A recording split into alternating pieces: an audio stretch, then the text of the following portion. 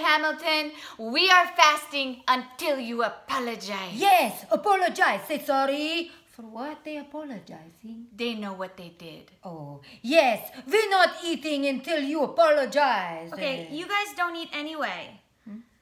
That's your whole thing. You don't eat right. You stay full on your unsaid words so you can marry a billionaire. So you're already fasting. And he's working. I'm at my go away. Oh, yes. No, you can't just do something you already are doing and call it a protest or a fast. I mean, this is serious. People are actually fasting and protesting for issues like Standing Rock, for example. Oh, who are you again? I'm the Obama White House intern that you're supposed to be interviewing.